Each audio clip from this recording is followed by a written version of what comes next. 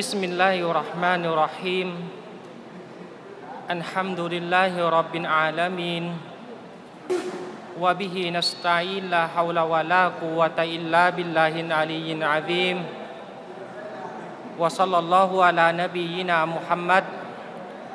وعلى آله وأصحابه ومن تبعهم بإحسان إلى يوم الدين أما بعد อัสสลามุอะลัยกุมวะราะห์มะตุลลอฮิวะบารอกาตุขอความสุขสันติความเมตตาจากลอสุบฮานะฮูวะตาลา ประสบกับบรรดาผู้หลักผู้ใหญ่ทุกท่านเลยนะครับที่เป็นผู้ที่ร่ำเรียนเรียนรู้ในเรื่องราวของศาสนา แล้วก็เป็นประจำนะครับที่ผมจะบอกกับทุกคนว่าให้ พวกเรานั้นชุกรขอบคุณต่อรัสุบฮานะฮูวาตาลาให้เยอะๆ ที่พระองค์ได้ทรงเมตตาให้กับเรา ในการที่จะให้เรามีชีวิตอยู่ แล้วก็ในการที่จะเปิดหัวใจของพวกเรา ในการที่จะรับในสิ่งที่เป็นความรู้ใหม่ ๆ หรืออาจจะเป็นความรู้ที่เราอาจจะไม่เคยรู้มาก่อน อันนี้เป็นสิ่งที่นับเป็นเนียมัตนะครับ เป็นความสำคัญที่อัลลอฮฺสุบฮานะฮูวาตาลานั้น ไม่ได้ปิดกั้นหัวใจของเรา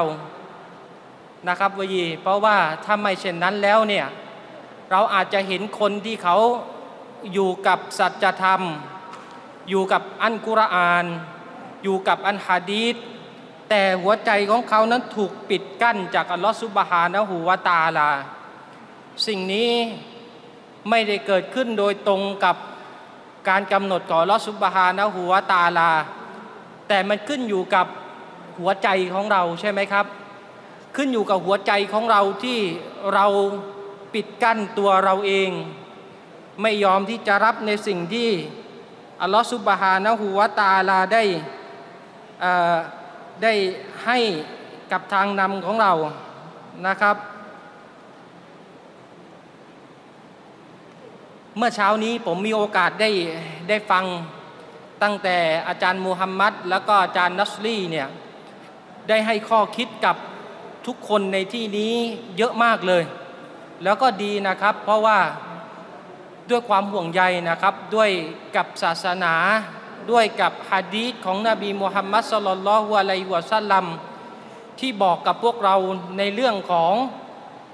การสั่งใช้การย้ำเตือน และก็ในเรื่องของการที่เราจะต้องระมัดระวังในความรู้ในการที่จะรับความรู้หนึ่งความรู้ใดนะโตนะอันทำดูดินละก็ดีมากดีมากเลยนะครับ เรา เราเรียนรู้กันอยู่อย่างนี้เนี่ยแหละเราพยายามที่จะเก็บเกี่ยวความรู้ให้ได้มากที่สุด เพราะความรู้จะช่วย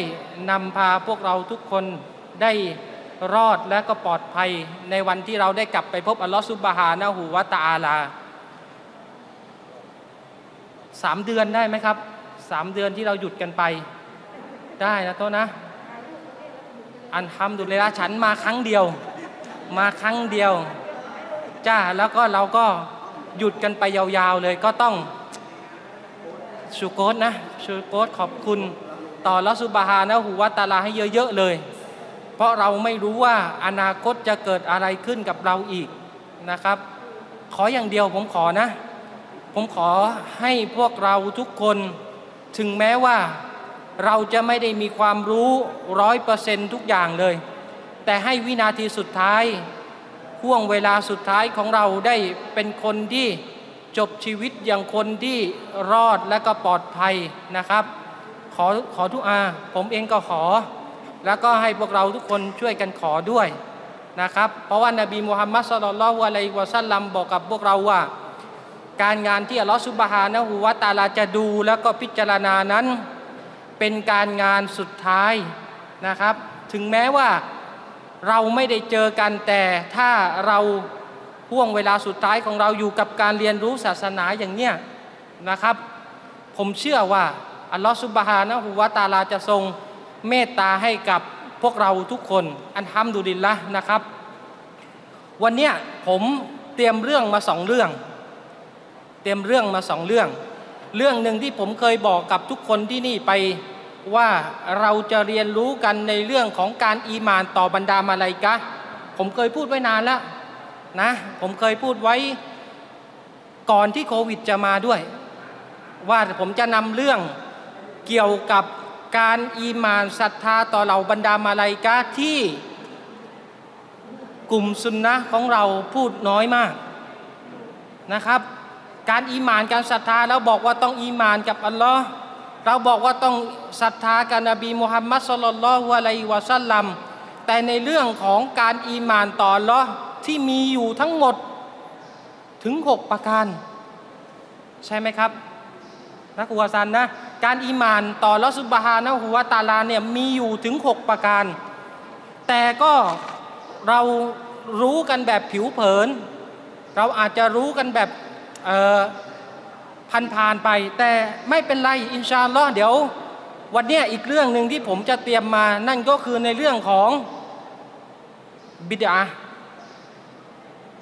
นะตอนนะ ใครไม่เคยได้ยินคำว่าบิดาบ้างครับ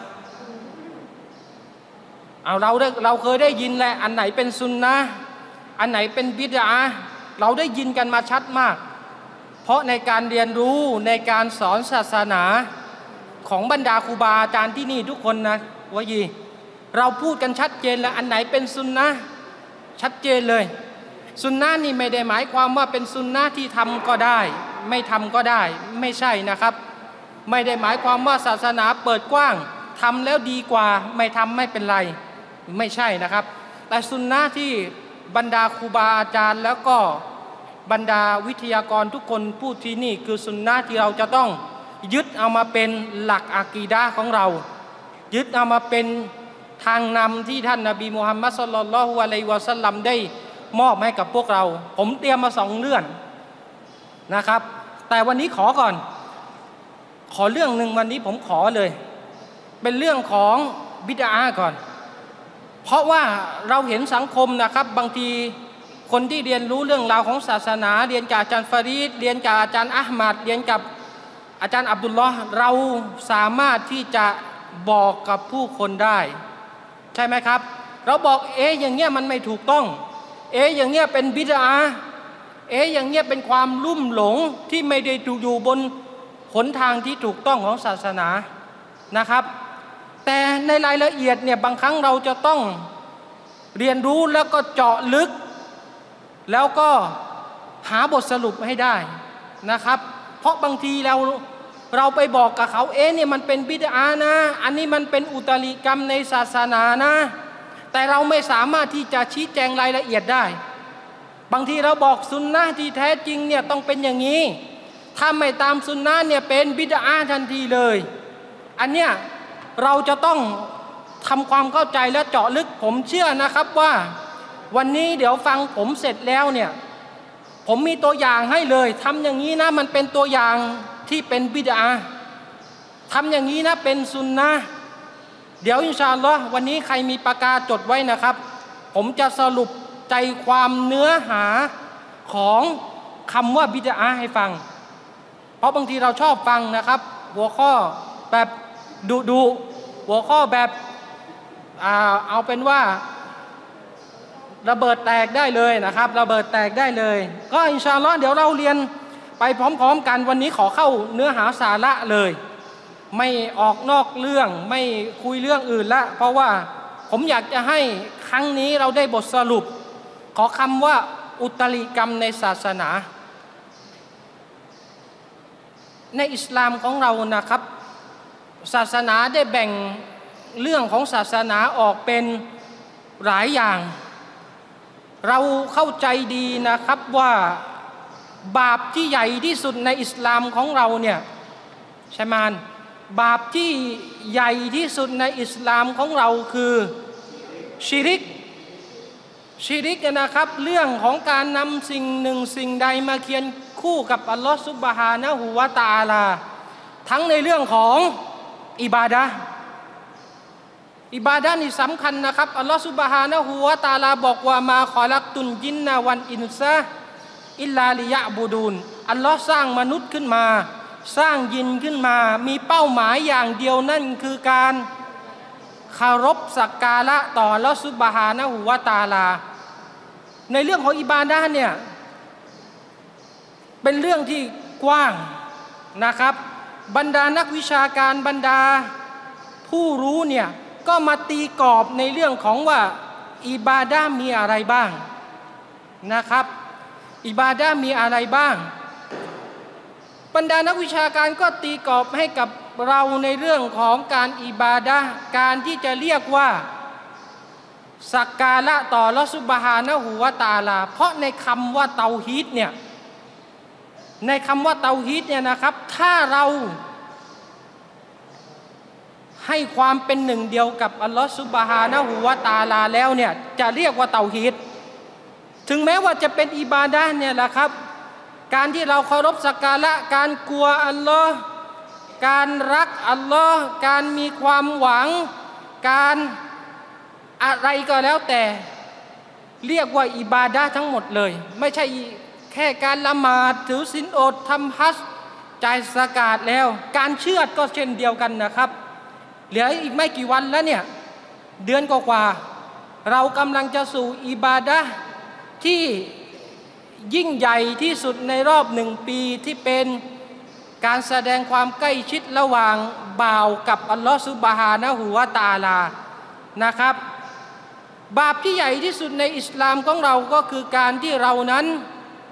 นำสิ่งหนึ่งสิ่งใดมาเคียงคู่กับอัลลอฮฺซุบฮานะหูวาตาลา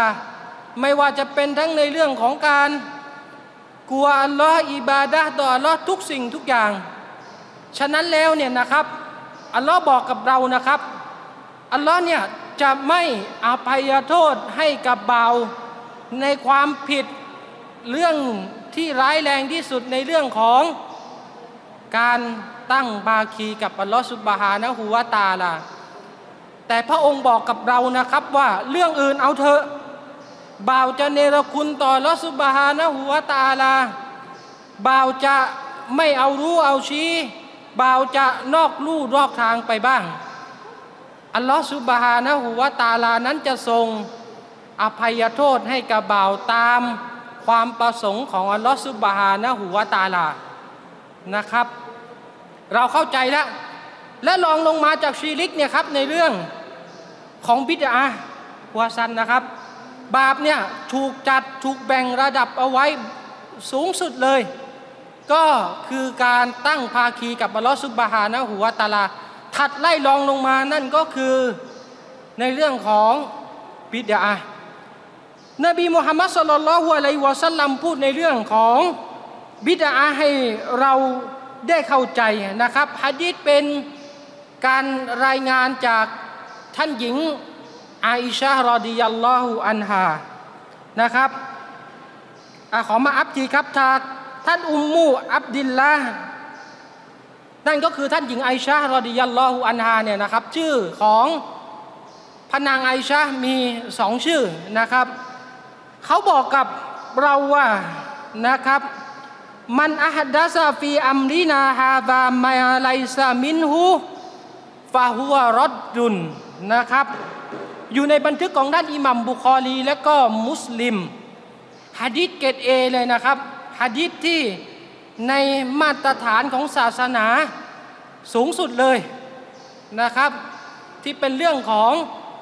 การรวบรวมการรายงานฮะดีษเอาไว้ ท่านหญิงไอชารอดียัลลอฮุอันฮาบอกกับเรานะครับว่า ท่านนบีมุฮัมมัดสลลัลลอฮุอะลัยวะสัลลัมได้บอกกับเราว่า ใครก็ตามที่เขานั้นอุตริกรรมคือทำบิดานะครับ ในศาสนาของเรานี้ก็คือในศาสนาของอัลลอฮฺสุบฮานะฮุวาตาลา ในศาสนาของท่านนบีมูฮัมมัดสุลลัลฮุอะลัยวะสัลลัมซึ่งสิ่งที่ถูกนำมาอุตริกรรมนั้น ไม่ได้มาจากท่านนาบีและก็ไม่ได้มาจาก อัลลอฮฺสุบฮานะฮุวาตาลา สิ่งนั้นจะถูก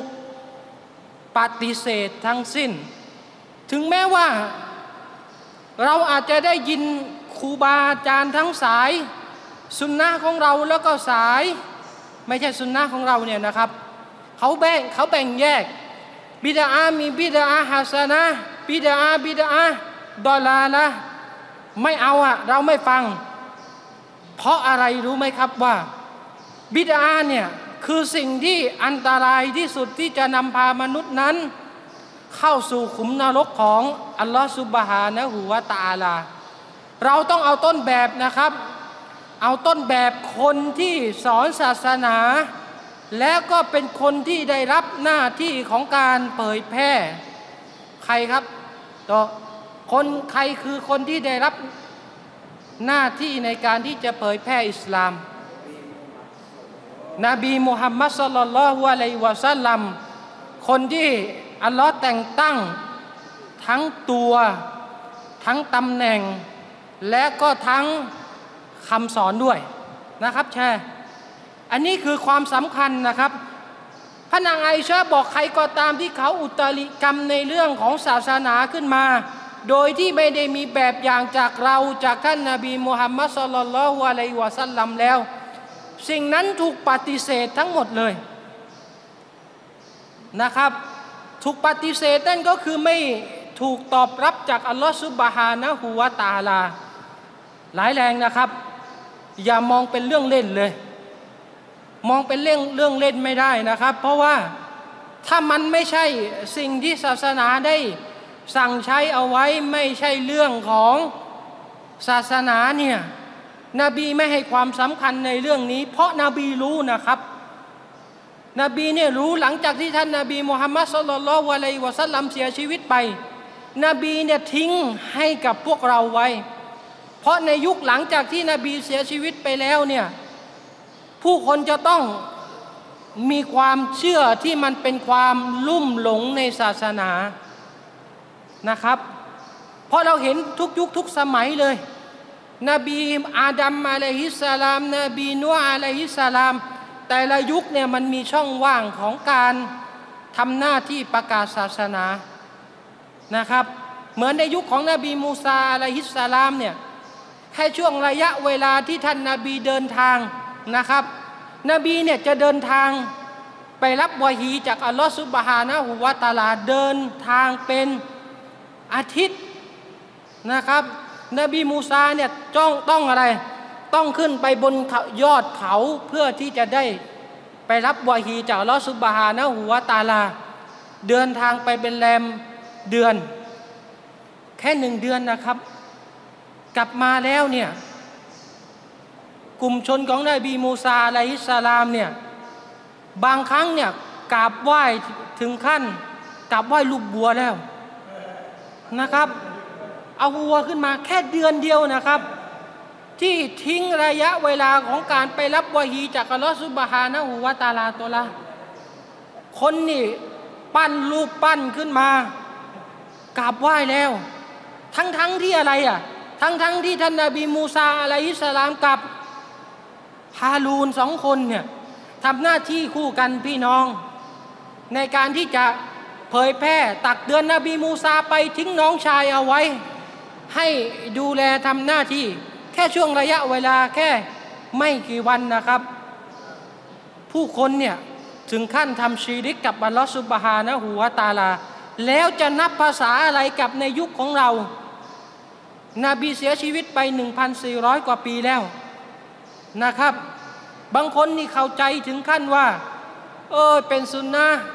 ทำไมล่ะทำอย่างนั้นนะดีทำอย่างนี้ทำไมจะไม่ดี ศาสนาไม่ใช่การนึกคิดนะครับ จะเอาสติปัญญาของเราไปพิจารณา ถึงแม้ว่ามันจะดีอะแต่มันไม่ใช่แบบอย่างเราเนี่ยบอกกันสอนกัน บางคนตายจากไปแล้ว แต่คำสอนยังอยู่นะครับคำสอนยังอยู่ต่อให้วันนี้เราไม่มีตัวบุคคล แต่เรายึดในคำสอนของผู้รู้ครูอาจารย์ที่ทิ้งไว้ให้กับเรา อินชาอัลลอฮ์ครับผมอ้าวมาต่อไป เราได้หัวข้อใหญ่ละพระนางไอชาบอกสิ่งใดก็ตามที่อุตริกรรมขึ้นมา ในศาสนาโดยที่ไม่ได้มีแบบอย่างจากท่าน นบีมุฮัมมัดสุลลัลฮุอะลัยฮิวะซัลลัมทุกสิ่งถูกปฏิเสธณที่อัลลอฮฺสุบฮานะฮูวตาลานะครับ และคำว่าบิดาเนี่ยนะครับในทางหลักภาษาแล้วเนี่ยหรือในภาษาอาหรับของเราเนี่ยมันหมายถึงสิ่งที่เป็นสิ่งมาใหม่ ๆ ที่ถูกประดิษฐ์ขึ้นมา เขาบอกนะครับว่าท่านอิหมัมอัชาตีบีรอฮิมาฮุลลอเนี่ยบอกนะครับบอกว่าสิ่งที่ถูกประดิษฐ์ขึ้นมาใหม่ โดยที่ไม่ได้มีแบบอย่างมาก่อนหน้านี้ คือไม่มีแบบอย่างในยุคของนบีมูฮัมมัดสลลัลฮุอะลัยวะสัลลัมนะครับเขาบอกท่านชัยคุณอิสลามอิบนุตัยมียะเนี่ยนะครับบอกว่า ก็คือสิ่งที่อัลลอฮฺสุบฮานะฮูวาตาลาและรอซูลนั้นมิได้บอกมิได้บัญญัติเอาไว้ หรือส่งเสริมให้ได้ปฏิบัตินะครับ สิ่งที่ท่านนาบีมุฮัมมัดสุลลัลฮุอะลัยวะสัลลัมแล้วก็อัลลอฮฺสุบฮานะฮูวาตาลามิได้บอกมิได้สั่งใช้ให้ปฏิบัติเอาไว้นะครับ เขาบอกบิดาเนี่ยนะครับ มีองค์ประกอบอยู่สามอย่างจำไว้นะครับ บิดามีองค์ประกอบอยู่สามอย่างหลักๆนะครับ สิ่งแรก คือสิ่งที่เกิดขึ้นมาใหม่ในศาสนา เราเอาศาสนาเป็นตัวตั้งนะครับ เราเอาเรื่องศาสนามาเป็นตัวตั้ง เพราะเราจะเห็นได้ว่าสังคมของเราบางคนบอกยังไงครับ ยุคนบีมีเคยขี่เครื่องบินไหมล่ะนะครับ ยุคนบีขี่รถยนต์ไหมล่ะ เราตีกรอบให้กว้างๆก่อนนะครับ องค์ประกอบของพิดามีอยู่สามอย่างหนึ่ง คือเกิดขึ้นมาใหม่ในศาสนา เอาศาสนาเป็นตัวตั้ง เกิดขึ้นมาใหม่ไม่มีแบบอย่างเลย อันที่สอง ถูกเพิ่มเติมขึ้นมาในศาสนา มีนั่นแหละนะครับ มีอยู่ในศาสนาแต่มาเพิ่มเติมเอาไปผนวกเป็นส่วนหนึ่งของศาสนาด้วยนะครับ อันนี้เป็น องค์ประกอบของบิดาองค์ประกอบที่สามนะครับหนึ่งไม่มีเลยเกิดขึ้นมาใหม่ในศาสนาสองถูกเพิ่มเติมเข้าไปในศาสนาสามนะครับสิ่งที่เกิดขึ้นมาใหม่ไม่มีที่มาของหลักฐาน ทั้งแบบที่เป็นการเจาะจงแล้วก็โดยรวมนะครับ ราะศาสนานี่อย่าลืมนะครับ การฟัตวาการให้ทางออกของบรรดาอุลามะเนี่ยมีองค์ประกอบหลายอย่างในการที่จะพิจารณาว่าสิ่งนี้ทำได้ สิ่งนั้นทำไม่ได้นะครับเอาเราได้หลักแล้ว แล้วเรามาดูต่อนะครับ นบีเนี่ยตีกรอบให้เราได้แคบลงมานิดหนึ่งนะครับ นบีบอกว่าอียากุมวัดซาตินอูมูรีฟาอินนักุลลาบิดาตินดอลาละดอลาลาตุน นบีนะครับ นบีบอก และพวกเจ้าทั้งหลายจงพึงระวังต่ออุตริกรรมในศาสนาเอาไว้ให้ดีนะครับ ท่านนบีใช้คำพูดว่า จงระมัดระวังจงพิจารณา ประโยคพวกนี้เราต้องไต่ตองให้ดีนะครับ เพราะมันจะเป็นเรื่องของศาสนาแล้วเพราะมันจะเป็นเรื่องของถูกกับผิดแล้วเพราะมันจะเป็นเรื่องของนรกและก็สวรรค์แล้วนะครับท่านนบีบอกระวังให้ดีนะ ระวังให้ดีนะต้องให้ความสำคัญนบีบอก และพวกเจ้าทั้งหลายจงระมัดระวังเอาไว้นะ ในศาสนาของอัลลอฮฺสุบฮานะฮูวาตาลา เพราะบิดานั้น เพราะความรุ่มหลงนั้น มันคือความหลงผิดนะครับ มันไม่ใช่อะไรล่ะทำแล้วดีกว่า ไม่ทำก็ไม่เป็นไร แต่ในนี้ก็คือเรื่องของมันคือสิ่งที่ลุ่มหลง หลงเนี่ยไม่ได้หลงในดุนยานะครับ นบีพูดเนี่ยเป็นภาพรวมของศาสนานะครับ เข้าใจให้ดี นบีบอก จงระมัดระวังให้ดีนะ สิ่งที่ถูกประดิษฐ์ขึ้นมาใหม่นั้นเป็นความลุ่มหลงนะครับ และก็ เราตีกรอบให้แคบลงมานิดหนึ่งนะครับ ในการประดิษฐ์ขึ้นมาใหม่หรืออุตริกรรมในศาสนา เมื่อกี้เราบอกสามประเภทของบิดานะครับ และในส่วนของการที่ประดิษฐ์คิดค้นขึ้นมาใหม่เนี่ยเราจะมองภาพ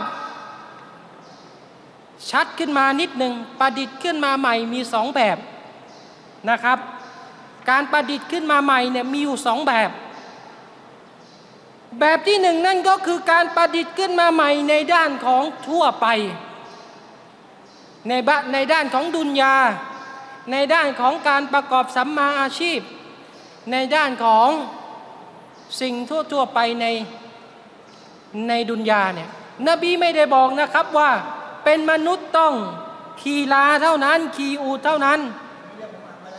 นะครับ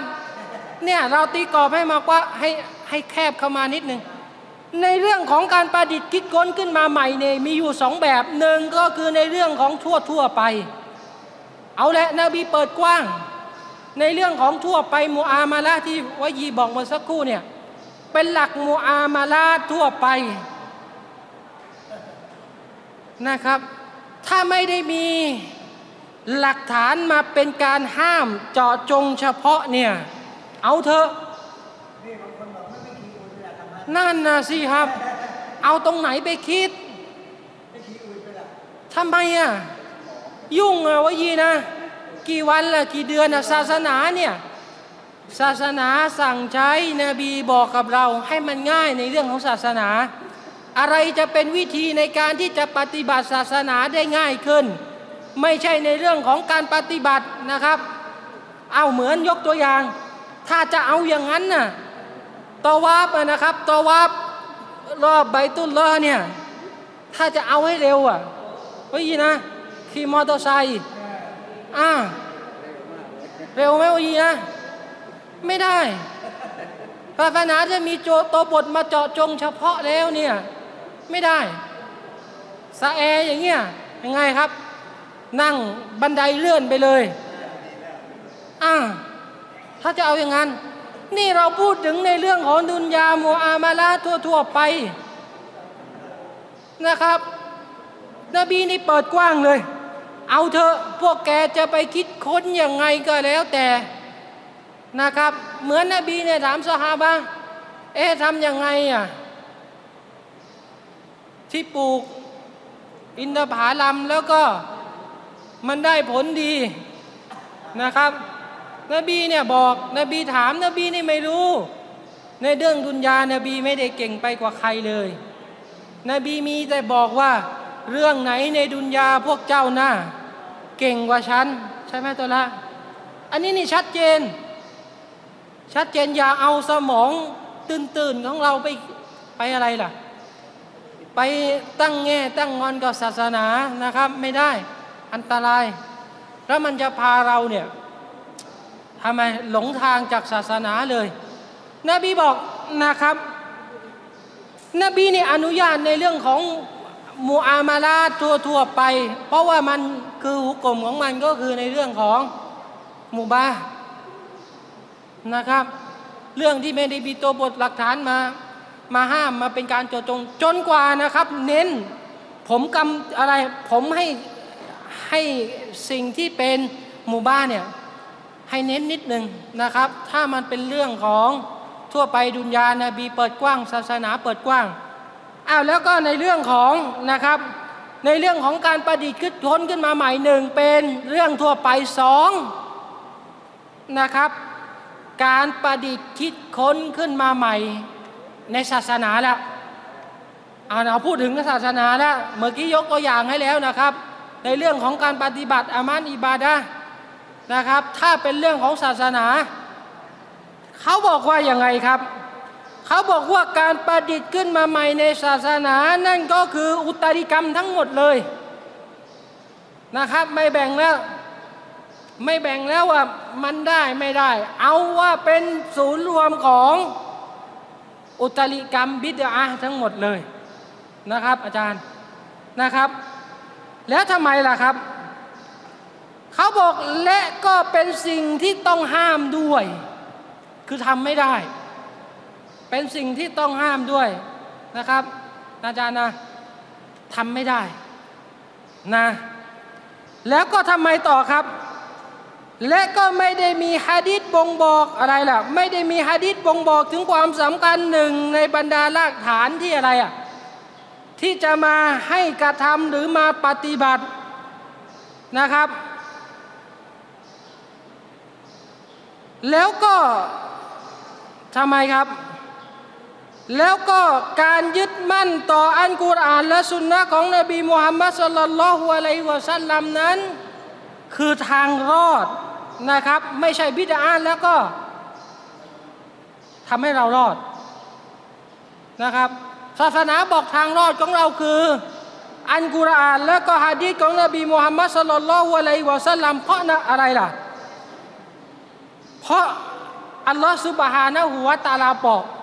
อย่างนี้ครับว่าอันนะฮาดาซิรอติมุสตะกีมาฟัตตาบิอูฮูวะลาตัตตบิอุสซุบุลาฟาตฟัรรกบิคุมอันซาบีเลนะครับอัลลอฮฺสุบฮานะฮูวะตาลาบอกยืนยันถึงทางรอดของ อิสลามเอาไว้นั่นก็คือในเรื่องของการยึดด้วยกิตาบุลลอฮและก็สุนนะของนบีมุฮัมมัดสุลลัลลอฮุอะลัยวะสัลลัมอัลลอฮ์บอกอย่างนี้ครับว่า และแท้จริงแนวทางของข้าก็คือแนวทางของอัลลอฮ์สุบฮานะฮูวะตาลานะครับ คือแนวทางที่มุสตะกีมัน แนวทางที่ตรงที่สุดละไม่มีเฉียง ไม่มีเฉไม่มีอย่างไงแล้วนะครับ ไม่มีช่องให้เราจะไปอะไรล่ะหา ซอกหาหลืบในการที่จะเอาชนะขาขานกันนะครับ และแนวทางของนบีมุฮัมมัดสุลลัลฮุอะลัยวะสัลลัมคือแนวทางที่เที่ยงตรงนะครับ ดังนั้นพวกท่านทั้งหลายอย่าได้ปฏิบัติอะไรล่ะ ดังนั้นพวกเจ้าทั้งหลายจงปฏิบัติตามนบีมูฮัมมัดสุลลัลลอฮุอะลัยวะสัลลัมเถอะอัลลอฮ์ยืนยันนะครับ ให้เราปฏิบัติในสุนนะของนบีมูฮัมมัดสุลลัลลอฮุอะลัยวะสัลลัมและก็อย่าได้ปฏิบัติในสิ่งที่เป็นแนวทางอันอื่น ไม่ได้นะครับ ต้องปฏิบัติในแนวทางของ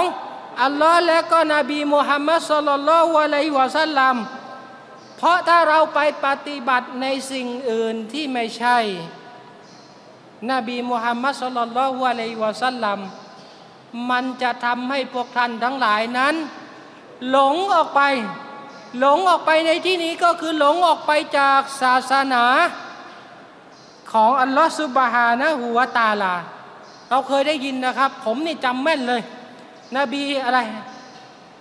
อาจารย์ฟารีดรอฮิมาฮุลลอเนี่ยฉายภาพเคยบอก ผมได้เรียนสุนนะแรกๆเนี่ยเมื่อก่อนที่จะมาเข้าใจก่อนที่จะได้มีโอกาสมาร่ำเรียน ผมฟังอาจารย์ฟารีดرحمه اللهพูดถึงฮะดีษของนบีมุฮัมมัดصلى الله عليه وسلمมาไว้ ว่านบีนี่ขีดเส้นตรงเส้นหนึ่งนะครับ นบีเนี่ยขีดเส้นตรงเส้นหนึ่ง แล้วก็ทำไมอะนบีบอกإن هذا صراطي مستقيما แนวทางเส้นตรงเส้นนี้เนี่ยเป็นแนวทางเส้นตรงของนบีมุฮัมมัดสุลลัลวะลัยวะสัลลัมนบีขีดเส้นขวาอีกหนึ่งเส้น เส้นซ้ายอีกหนึ่งเส้นนะครับ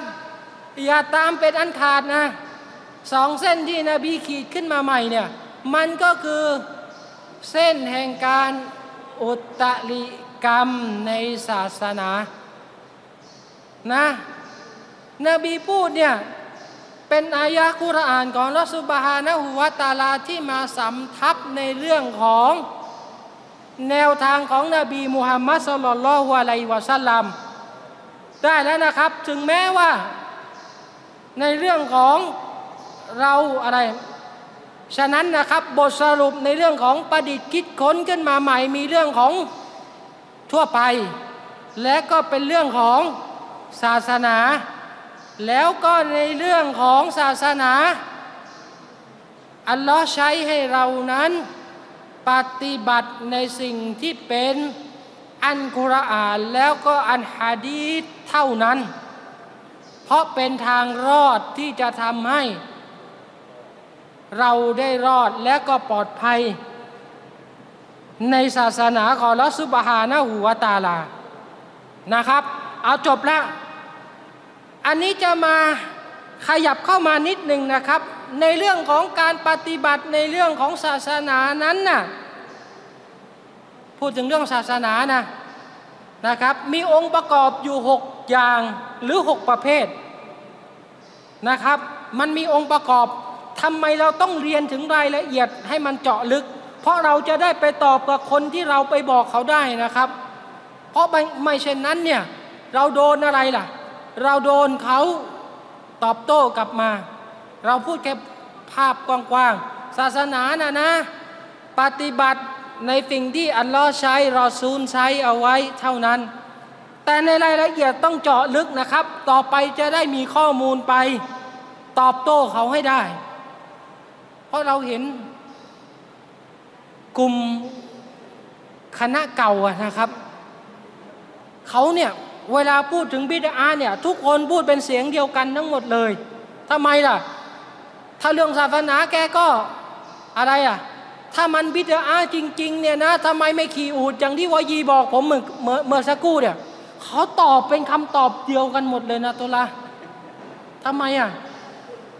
เพราะเขาถูกพัมสอนเอาไว้สอนแค่นี้แหละทำไมพวกแกไม่ขี่อูดไม่นั่งเรือไปอะไร เราต้องตอบไม่เป็นมาตรฐานเดียวกันนะครับ ต่อไปนี้ ตอบเขาอาจจะพูดในเรื่องของบทบัญญัติของศาสนานี่มีองค์ประกอบอยู่หกอย่างด้วยกัน เราจะปฏิบัติศาสนาเนี่ยมีองค์ประกอบอยู่หกอย่างนะครับหนึ่งเลยสาเหตุ ในเรื่องของสาเหตุ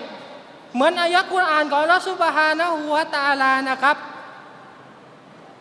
เวลามีเหตุการณ์หนึ่งเหตุการณ์ใดเกิดขึ้นเนี่ยในสมัยของท่านนาบีมูฮัมมัดสลลัลฮุอะลัยวะสัลลัมจะทำยังไงครับ สมมติมีเรื่องหนึ่งเกิดขึ้นกับซอฮาบะหรือมีคำถามเกิดขึ้นกับนบีมูฮัมมัดสลลัลฮุอะลัยวะสัลลัม ทำยังไงครับวะยีนะครับหืมทำไงนบีคิดเองไหมครับ ต้องรอวาฮีของอัลลอฮฺสุบฮานะหูวาตาลา ถูกต้อง เราถูกพัฒสอนมาอย่างนี้นะครับว่าเมื่อมีปัญหาหนึ่งปัญหาใดในศาสนาเกิดขึ้นในยุคของนบีมุฮัมมัดสุลลัลฮุอะลัยวะสัลลัมแล้วนั้น นบีจะต้องรอวาฮีจากอัลลอฮฺสุบฮานะหูวาตาลาเท่านั้นนะครับ เหมือนกับวาฮีบางเรื่องอะเหมือนกับบรรดากลุ่มคอวาลิช ที่ทำไมครับ กล่าวหาท่านหญิงอาอิชาว่า ว่าทำไมครับ ว่าทำซีนา นบีนี่ทุกใจนะครับ นบีทุกใจทุกใจอยู่หลายเดือน เมื่อไหร่นะวาฮีของลอสุบฮานะหัวตาลาจะบาทานลงมาให้ เมื่อไหร่ความจริงจะถูกเฉลยจากอัลลอฮฺสุบฮานะหูวาตาลาต้องอะไร เมื่อเกิดสาเหตุแล้วเนี่ยต้องรอวาฮีจากอัลลอฮฺสุบฮานะหูวาตาลา หลังจากนั้นกี่เดือนครับสามเดือนวาฮีเพิ่งจะมาเฉลย มาตีแผ่กลุ่มคอวาลิชที่ทำไมครับ ที่มันใส่ร้ายท่านอะไรท่านอุมมุนมุมินีนของเรา นี่หนึ่งเลย ในการที่เราจะปฏิบัติในเรื่องของศาสนาต้องมีสาเหตุก่อนนะครับ เวลามีสาเหตุแล้วเนี่ย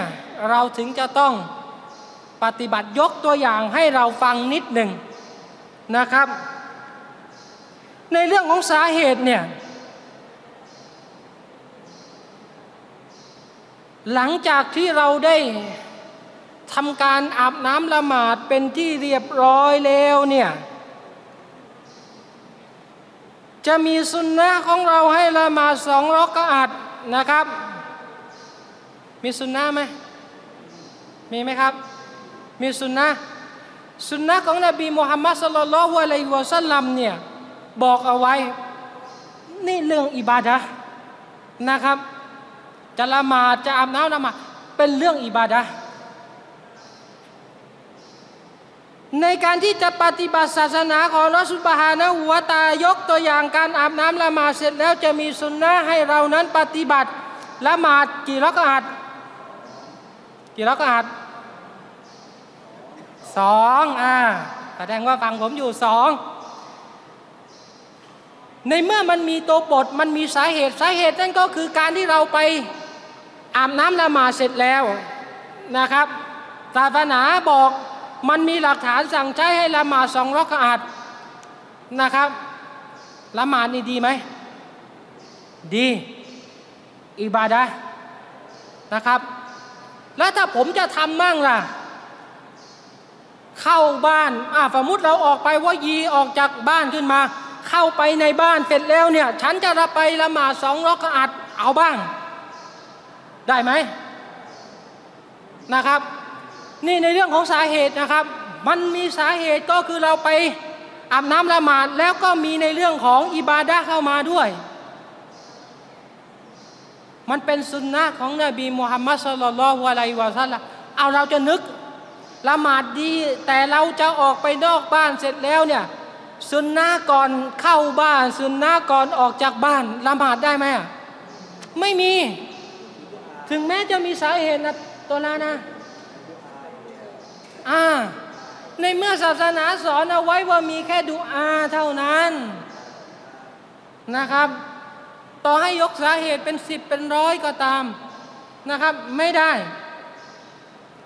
ไม่ได้ อายกตัวจบไปแล้วหนึ่งตัวอย่าง เดี๋ยวมีอยู่หกตัวอย่างแล้วจบแล้วเลิกเลยนะครับอ่าในเรื่องของชนิดหรือประเภท ในเรื่องของชนิดและก็ประเภทในในเรื่องของอิบาดานะครับ ในเรื่องของการที่จะปฏิบัติศาสนาของนัสุบฮานะหัวตาลา สาเหตุจบแล้วสองในเรื่องของชนิดหรือประเภทเนี่ยจะต้องเป็นการปฏิบัติ การปฏิบัติในการงานหนึ่งการใดต้องถูกหลักการของศาสนาด้วยนะครับ ยกตัวอย่างให้ฟังถ้าพูดถึงประเภทอะใครยกตัวอย่างได้ก็ผมให้สิบห้าบาทอะผมเหลืออยู่สิบห้าบาทอ่านะครับฮะการละหมาดทำไมถึง ทำไมถึงเป็นต้องเป็นการละหมาดอ้าไม่ละอะพูดถึงประเภทเลย อ่าอ่าในเรื่องอันนั้นมีฮะดิษเจาะจงไว้เลย ประเภท อีกไม่กี่วันแล้วจะถึงแล้วเนี่ยครับ อีกเดือนกว่าอ่า อีกเดือนกว่าบุรบาล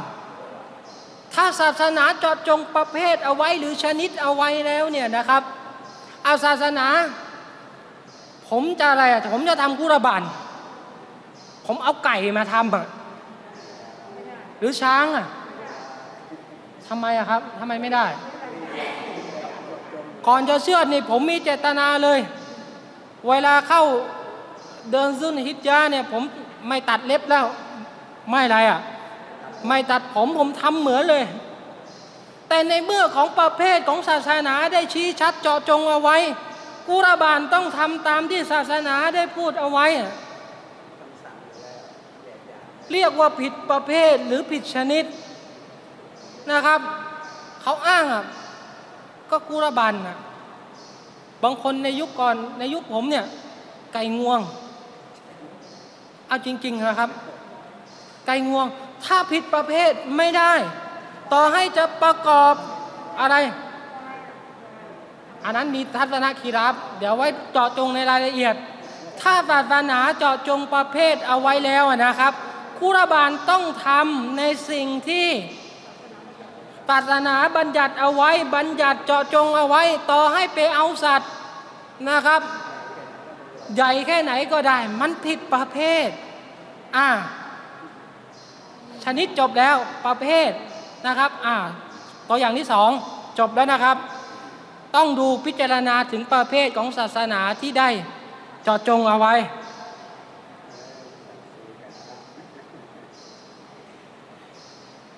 อารูปแบบนี้เดี๋ยวจะเหมือนกับที่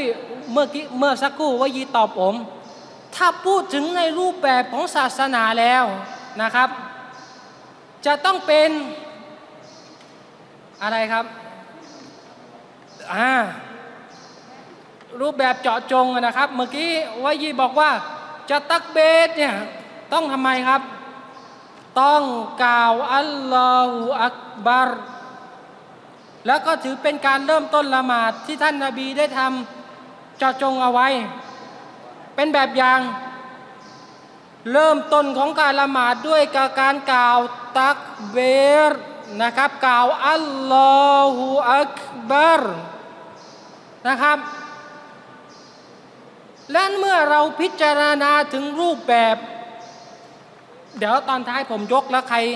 ใครจะจดจดไว้นะครับ องค์ประกอบของศาสนามีอยู่หกหกอย่างนะครับ อันที่สามเราพูดถึงรูปแบบอ่าการปฏิบัติในเรื่องของรูปแบบนั้นจะถูกต้องจะต้องถูกต้องตามบทบัญญัติในเรื่องของจำนวนและก็รูปแบบด้วยนะครับ ในเรื่องของจำนวนและก็ในเรื่องของรูปแบบด้วย สมมุติว่ามีชายคนหนึ่งนะครับ เขาทำการละหมาดโดยที่เขานั้นจะทำการสุยูดก่อนรูกัวได้ไหม ในเรื่องของสุยูดและก็ในเรื่องของรูกัวมี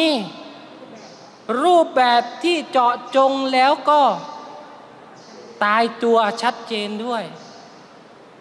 นะครับอัลลอฮฺอักบารอ่านดูอาอิฟติตาเสร็จอ่านฮัมดุลิลลาเสร็จอ่านสุรเสร็จเรียบร้อย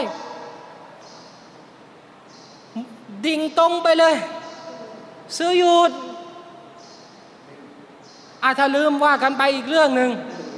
ถ้าลืมว่ากันไปอีกเรื่องหนึ่งศาสนามีทางออกให้แล้วนะครับ จะไป ซื้ออยู่อ่าชาวีหรืออะไรก็แล้วแต่อันไหนนั้นเลยแต่ถ้าจงใจนะครับบอกว่าทำไมล่ะซูยูดก็มีรูปแบบของนบีมุฮัมมัดสลลัลฮวะไลวะสัลลัมรูปแบบของฮะดีที่พูดเอาไว้แล้ว เนี่ยนะครับ ถ้ารูปแบบหรือบัญญัตินั้นนะครับ ไม่มีรูปแบบหรือการปฏิบัติ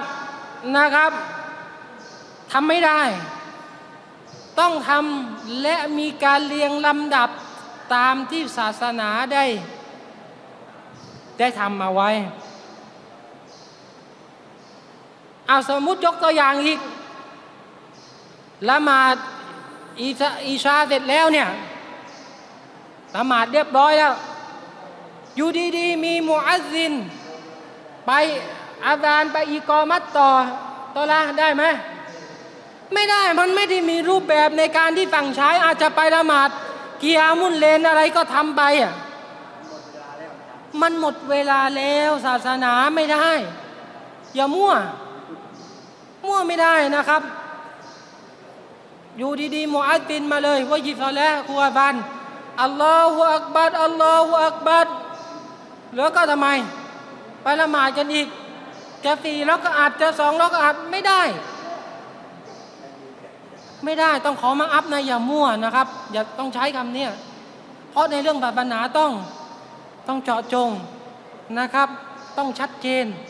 เราตอบก็ได้แล้วไม่ได้มีรูปแบบแล้วบางคนทำไมล่ะครับจะตะฮัดจุด ไปอาจารไปอีกอมัดไม่มีรูปแบบในศาสนาที่เจาะจงเอาไว้ทำไม่ได้ ถึงแม้ว่าจะทำแล้วดี ถึงแม้ว่าจะดีในห่วงเวลาอื่นอะ ถ้ามัสยิดอะไม่ไม่อาบานไม่อีกอมาอันนี้ว่ากันไปเรื่องหนึ่งไม่ได้ กี่รูปแบบแล้วครับที่พูดไปกี่หัวข้อล้วหนึ่งสาเหตุสองชนิดหรือประเภทสามเรื่องของจำนวนสี่ในเรื่องของรูปแบบนะครับห้าในเรื่องของเมื่อกี้เราพูดถึงรูปแบบไปแล้วนะครับ ในเรื่องของจำนวน นะครับ ในเรื่องของจำนวนอ่าในเรื่องของจำนวนต่อมาในเรื่องของจำนวนเมื่อกี้สามเนี่ยสาเหตุชนิด รูปแบบตีในเรื่องของจำนวนนะครับ ในเรื่องของจำนวนเนี่ยการปฏิบัติอามันหรืออิบาดะการประการหนึ่งการใดจะถูกต้องตามบทบัญญัติแล้ว ต้องพิจารณาในเรื่องของจำนวนด้วย นะครับ ในเรื่องของจำนวนเนี่ยจะเราจะพิจารณาเนี่ยอาบน้ำละหมาดล้างหน้าสักหกครั้งทำไมอะ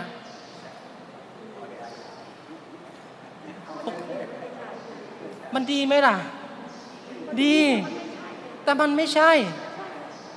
นะครับ ล้างเนี่ยหกครั้งเจ็ดครั้ง แต่ในเมื่อศาสนาจอดจงเอาไว้ว่ามันมี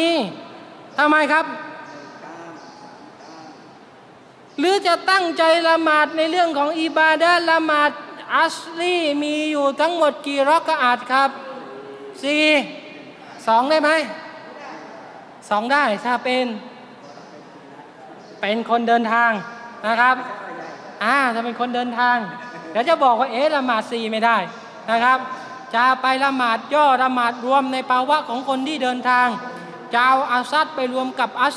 รูลีจะอัสลีอันนั้นว่ากันกรณีอันนั้นคนละเรื่อง แต่ถ้าตั้งใจเลยเอาเดี๋ยวเนี่ยละหมาดรูลีกันแล้วเนี่ย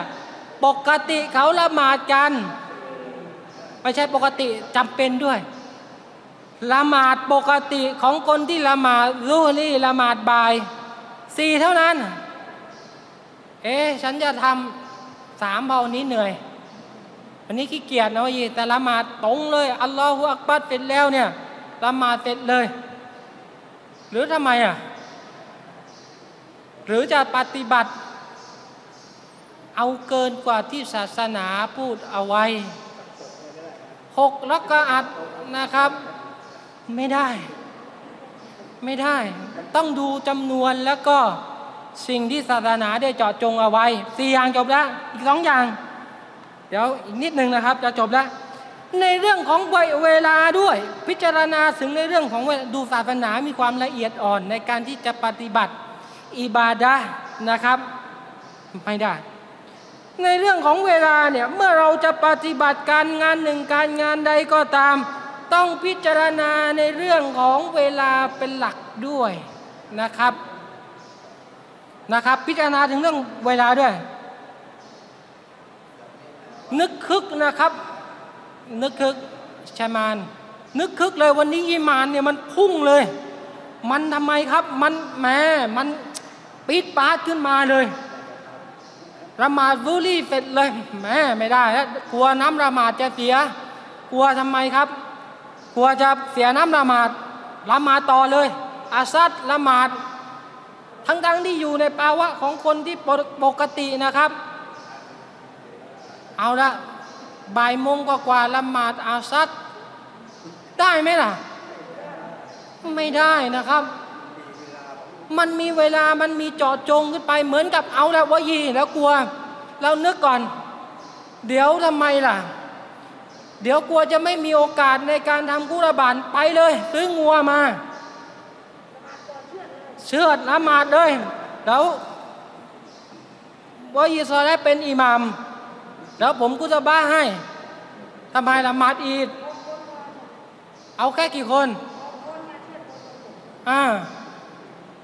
มันไม่ได้นะครับ ถ้ามันมีเวลาที่เจาะจงในเรื่องของศาสนาเอาไว้แล้วนะครับ มีแบบอย่างไว้เจอดจงตายตัวจะละหมาดได้อย่างไงในเมื่อมัน ยังไม่ถึงเวลาในการปฏิบัติอิบาดะจะเชิดกุรบันได้ยังไงอะในเมื่อยังไม่ได้ทำการละหมาดอีดก่อน นี่พิจารณานะครับ ไม่ได้อะสุดท้ายแล้วในเรื่องของศาสนาพิจารณาถึงในเรื่องของสถานที่ด้วยนะครับ ในเรื่องของสถานที่ด้วย ในเรื่องของสถานที่เนี่ยในเรื่องของการปฏิบัติอิบาดะเพื่ออัลลอฮฺสุบฮานะฮูวาตาลาและก็เพื่อที่จะเป็นบทบัญญัติของศาสนาแล้วเนี่ยนะครับ จะต้องปฏิบัติและก็พิจารณาในเรื่องของสถานที่ด้วย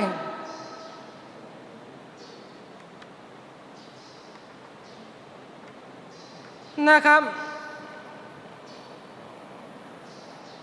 ศาสนาใช้ให้เราต่อว่า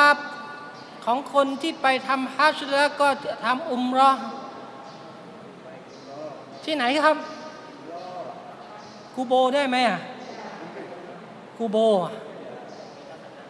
ฮะทัศนะไหนครับทัศนะไหนทัศนะฉันเอง ถ้าในเรื่องของสถานที่ที่ศาสนาเจาะจงเอาไว้ทำฮัจญ์หรือทำอุมรอ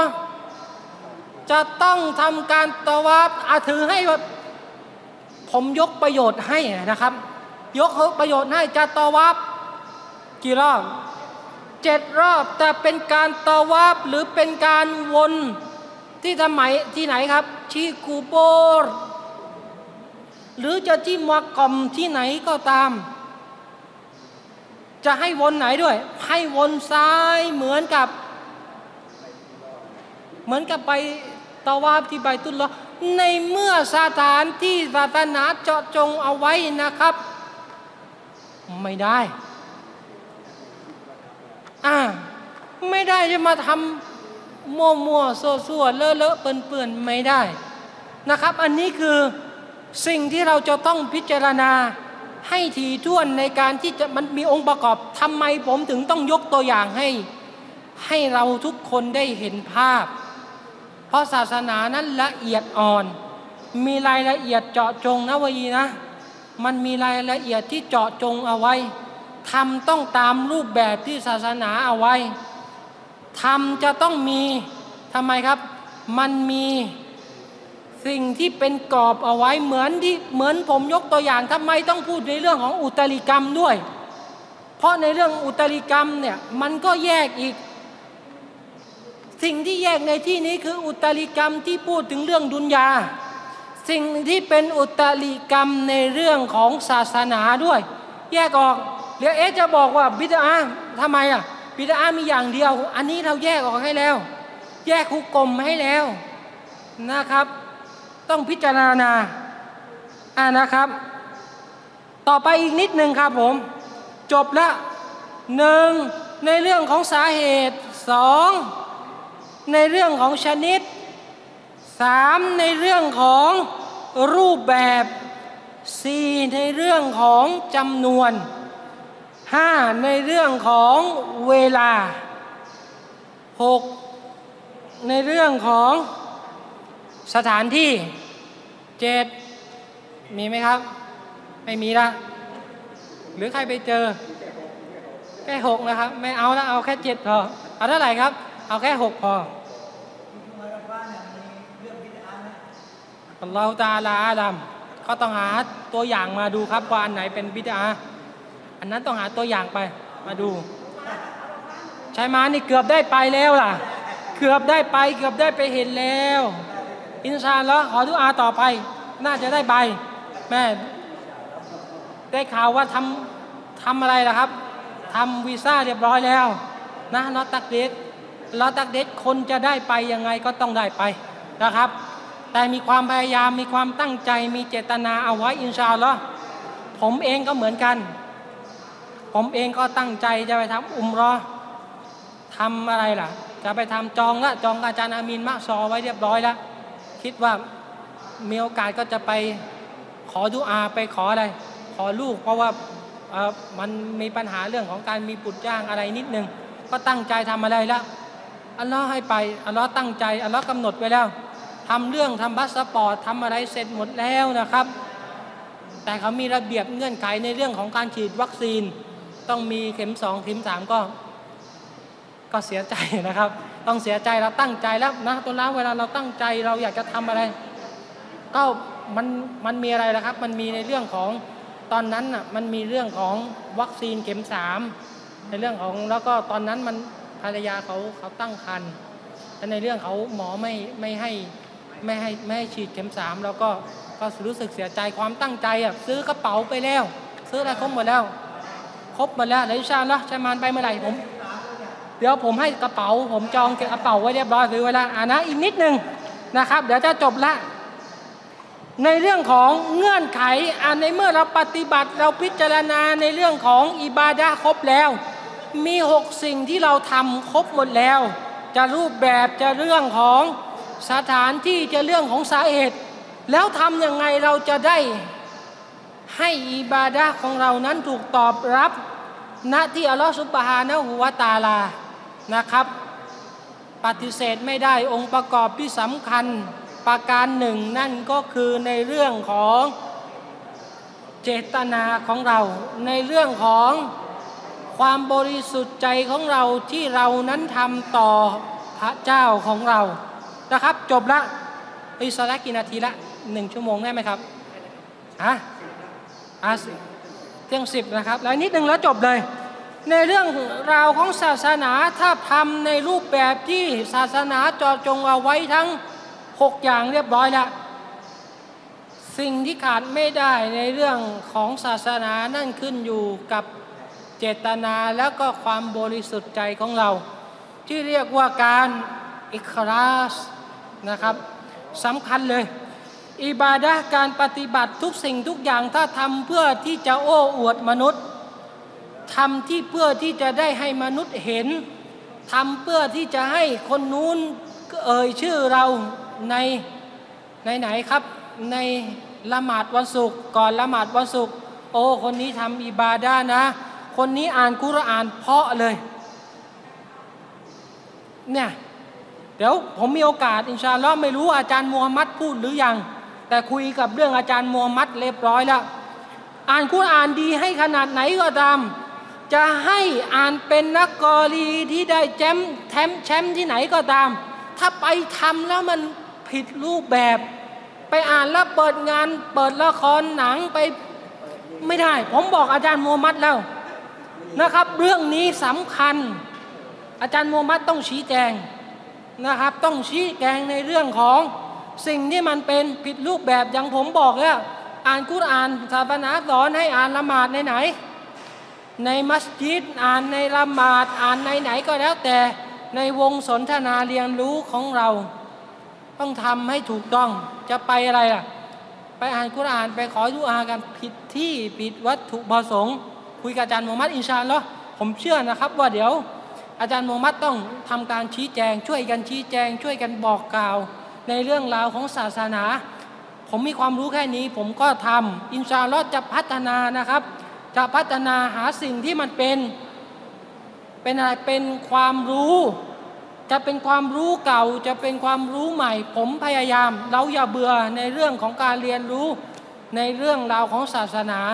นะครับ อย่าเบื่อบางคนบอกอุ้ยอาจารย์พูดอีกแล้วบิดาต้องพูดนะสิครับ จะเบื่อก็เบื่อไปเถอะผมต้องพูด เพราะอุตริกรรมคือความลุ่มหลงในศาสนา เราประกาศสุนนะเราชี้แจงกันบอกกันแล้วทุกคน ยึดเอาไว้นะในสุนนะของนบีมุฮัมมัดสุลลัลฮุอะลัยฮิวะสัลลัมยึดมันไว้ด้วยกับฟันกราม เราเรียนแต่สุนนะแต่ถ้าไม่ทำความเข้าใจเก่าเกี่ยวกับบิดาเดี๋ยวก็มาอ้างนะครับว่ายีทำไมไม่ละหมาดห้ารักอาดล่ะทำไมไม่เชื่อนู่นเชื่อนี่เชื่อสัตว์แปลกๆล่ะ ต้องคุยนะครับ เพราะมันถึงขั้นที่จะทำให้เป็นชีริกได้ แล้วมันอาจจะถึงขั้นบิดาได้นะครับ อันตรายช่วยกันชี้แจงช่วยกันเรียนรู้ในเรื่องราวของศาสนา อินชาลอฮ์นะครับ ถ้าเราช่วยกันทำความเข้าใจนะครับ เราจะได้เป็นคนที่เป็นคนที่ปฏิบัติในสุนนะได้ถูกต้องด้วย แล้วก็จะเป็นมือเป็นไม้ เป็นอะไรครับ เป็นคนที่ช่วยครูบาอาจารย์ในการที่จะตอบโต้นะครับโตอินชาลอผมบรรดาครูบาอาจารย์หลาย ๆ คน อาจจะมีอะไรมีความสามารถทำผมน่ะทำได้แค่นี้แหละ แต่ในเรื่องของคนใกล้ชิดของครูของวายีผมอาจจะอะไรเขาอาจจะไม่ได้ฟังหรอก ไม่อาจจะมานั่ง เรียนรู้อย่างพวกเราในวันนี้ แต่ถ้าวายีอยู่ใกล้ชิดกับเขาครูฮาฟันมีโอกาสที่จะได้บอกกับเขา ในการที่จะไปเห็นเขาแล้วเนี่ยแล้วทำเนี่ยอนามัยศาสนาสั่งใช้ให้เราเห็นต้องเปลี่ยนแปลง พูดได้พูด บอกได้บอกเตือนได้เตือน ในเรื่องของบางสถานที่ผมอาจจะทำได้แค่ ขอดุอาอานะขอให้ครอบครัวนี้ ได้เลิกกระทำในสิ่งที่เป็นอุตริกรรม แต่ถ้าเรามีความสามารถเปลี่ยนแปลงได้เดี๋ยวนั้น เปลี่ยนแปลง คนในครอบครัวมีอามานะที่ต้องรับผิดชอบนะครับ คนทุกคนว่ายีมีหน้าที่รับผิดชอบในครัวเรือน ในครอบครัวในลูกในภรรยา ผมมีหน้าที่ในการที่จะบอก ผมมาอยู่ตรงนี้แล้วผมไม่บอกนะพี่พิษ อย่าเอาตัวอย่าง อย่าเอาอย่างผมไม่ดี ต้องช่วยกันนะครับ ผมพยายามจะทำหน้าที่จะพยายามที่จะหาข้อมูลมาเรียนรู้นะครับ ตรงไหนผิดพลาดไปขออภัยนะครับ ตรงไหนผิดพลาดในคำพูดของผมมาจากตัวผมเองนะครับ มาจากตัวผมเองมาจากชัยตอนในการล่อลวง แต่สิ่งไหนก็ตามที่เป็นเรื่องราวที่ถูกต้องที่ผมพูดในวันนี้ตรงกับสุนนะตรงกับ อันกุรานมาจากอัลลอฮฺสุบฮานะฮุวาตาลาเพียงคนเดียว ไม่ได้มาจากผมนะครับ ต้องขอมาอัพด้วย สิ่งใดผิดพลาดไปก็อัสลักฟิรุลลอฮ์นะครับ ขออภัยโทษจากอัลลอฮฺสุบฮานะฮุวาตาลาขอให้พวกเราทุกคนช่วยกันนะครับ ผมผิดตรงไหนเตือนผมนะครับฮะดิษไหนพูดไป ตรงไหนผิด ตรงไหนไม่ถูกต้องอินชาอัลลอฮ์ช่วยกันนะครับ เราจะเป็นกลุ่มชนที่เป็นกลุ่มชนที่